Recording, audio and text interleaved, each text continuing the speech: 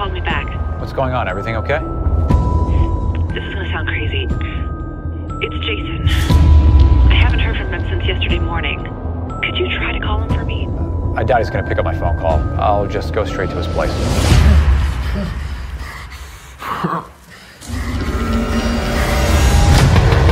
Jason! You in there? Nothing's out of place. His computer was still there. What about his car? That wasn't there. My name's Roy. I think you know my friend Jason. Uh, we were supposed to go on a date the other day, but you blew me off. Are you Roy? I love decorating. Stringing up the lights, hanging the wreaths, and you should come over for dinner tonight. Tonight? 6.30. We have a guest coming tonight. I don't want to have to gag you. Hello?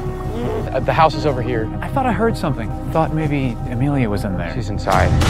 I just thought he might want to play with my Christmas present.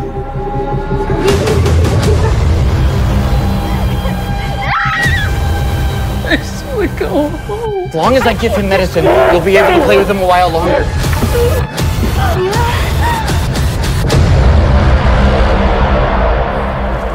Did you take your medicine?